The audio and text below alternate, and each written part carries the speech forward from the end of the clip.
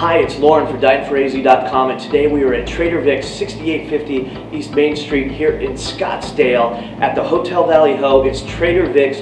We're going to have some Polynesian food today. We're going to have some exotic drinks. A wonderful time to be had for all, whether you're here on vacation or just a staycation or you're just going out for a wonderful night with friends or family. It's right here at Trader Vic's in Scottsdale.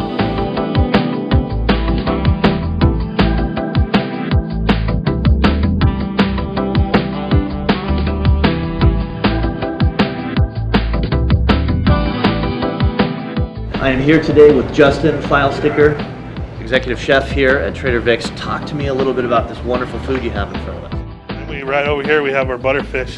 It's uh, flown in from Honolulu overnight.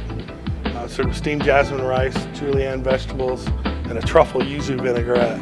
All right, I'm here with J.K. Grentz, chief mixologist and also resident historian for Trader Vic's. Tell us a little bit of the history of Trader Vic's. The history of Trader Vic's, well, Vic got his start in 1934 in Oakland, California as a little dive bar called Hinky Dinks.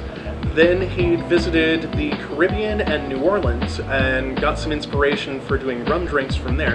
And then also visited a tropical themed restaurant in Hollywood called Don the Beachcomber, which was his main inspiration for turning Hinky Dinks into something more tropical. One of the things that Trader Vic's is famous for is being the creator of the Mai Tai. That is correct, yes. Let's, let's see what this bad boy looks like.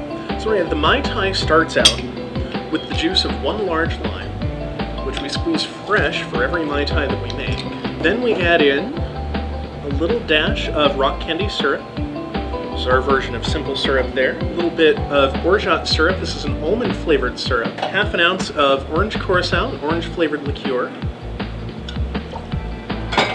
And then we do plenty of our own Trader Vic's Royal Amber Rum. Talk to me a little bit about the Chinese oven that you guys use here. Well, our Chinese oven, um, it's basically a smoker. It has a wood fire pit off to the side, um, and it goes through a big drum. And this really has so much flavor. It's, everything's cooked through indirect heat. This all gets shaken with plenty of crushed ice. It's one of the secrets of a good tiki drink is you want to give it a very good hearty shake.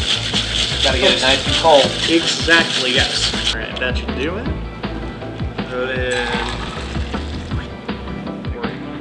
and there you have the classic Trader Vic's Mai Tai. Duck two ways.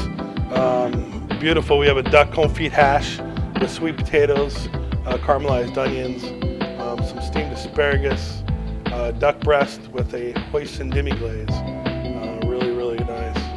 Tell me a little bit about the happy hour you have here, special events, things that you guys do here at Trader Vic's. Well, we have our happy hour every night that we're open from 4 till 6 and 9 until 11. We have a special happy hour food menu with all sorts of delicious things for $5 each, and then also specials on beer, wine, and several of our specialty cocktails, including, of course, the Mai Tais. Whether you want to go on vacation for just a night or for a weekend, this is a great place to come and visit. But you know what? Just come down here for a great happy hour or ladies' night. It's all at Trader Vic's here in Scottsdale. And what you want to do, go to dineforaz.com right now and download an offer to come on in, try it out for yourself, bring some friends, bring some family, and have a great night at Trader Vic's.